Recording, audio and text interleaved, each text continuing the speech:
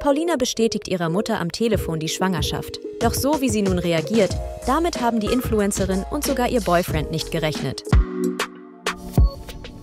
Aktuell befinden sich die beiden im Ausland und auch viele andere Influencer teilen sich die Villa. Sie albern den ganzen Tag rum und dabei entstehen viele lustige Videos. Doch auf genau diesen Moment warten die Fans schon lange. Immerhin wollen sie endlich von ihrer Schwangerschaft erfahren. Dabei hat Paulina immer wieder betont, dass sie sich dabei Zeit lassen wollen.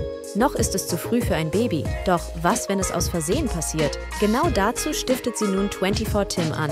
Denn beim Spiel Wahrheit oder Pflicht musste sie ihrer Mutter von der Schwangerschaft erzählen. Allerdings scheint die Mutter nicht ganz glücklich über diese Nachricht zu sein. Geschockt fragt sie auch, was wohl Tommy zu der Schwangerschaft sagt. Glücklich klingt anders. Hier hört euch das an.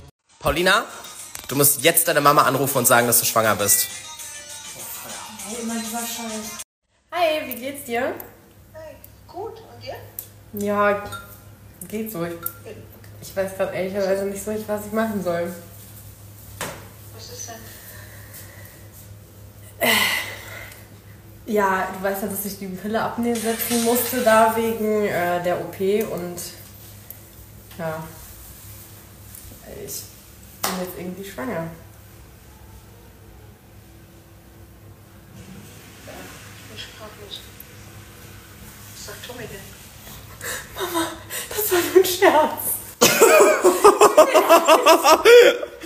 nein, wirklich nicht versprochen. Nicht. Nein, nein, nein, nein, nein. Das erste, was wo ich wollte sagen, ich hab's dir doch extra gesagt, was ich schluckst runter.